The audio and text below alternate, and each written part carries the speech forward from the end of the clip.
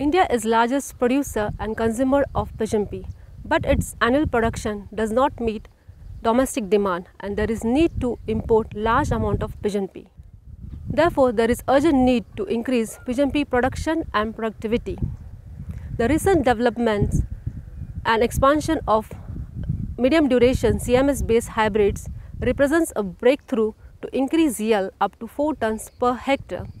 However, these hybrids are both photoperiod and temperature sensitive, limiting its expansion to higher altitudes and latitudes and also its uh, use in alternative cropping system due to its maturity duration. Thus, recently developed short duration varieties that mature in 90 to 120 days gives an opportunity of exploring non-traditional areas for increasing pigeon pea production. So, need was felt to develop varieties that will grow well in non-traditional areas like this short duration varieties that have an opportunity of growing in non-traditional areas of Rajasthan and other uh, higher elevations of more than 30 degrees north and south. This will lead to increase in yield for smallholder farmers, diversification of cropping system and also improve the nutritional requirement along with reduction in environmental degradation. To address the challenges in Rajasthan, short duration pigeon pea has been identified as a potential game changer where more than 12,000 farmers are growing short duration pigeon pea on ICRISAT's intervention area of 10,000 hectare area.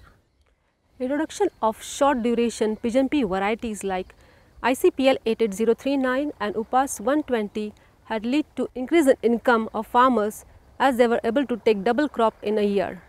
This has also led to increase in the subsiding crop due to nitrogen fixation by pigeon pea and thus to meet the over increasing dem demand of quality seed to farmers, a large scale pa farmers participatory varietal seed program was undertaken producing around 500 tons of seed. This has helped to, to gain an additional income to the farmers. By supporting installation of mini dal mills in several villages of Rajasthan, this has helped to generating employment for especially for women farmers and also for making available nutritious and quality dal at economical rate to the farmers of Rajasthan. Like pigeon pea yields up to 10 tons of dry stem per hectare which is used for cooking food. Women now use this pigeon pea dry sticks which has a a fuel efficiency of 3000 calories per kg. ICRISAT's initiative of linking the farm produce to the market has enabled farmers to sell their produce at a competitive price. From nutritional point of view, it is a win-win situation for the, for, for the farmers and the families as pigeon pea is known to have 20 to 22 percent of protein. In addition to this, the pigeon pea uh, leaves the husk and uh, pot shells are used to feed the livestock. Like this example clearly demonstrates that intervention should be demand driven.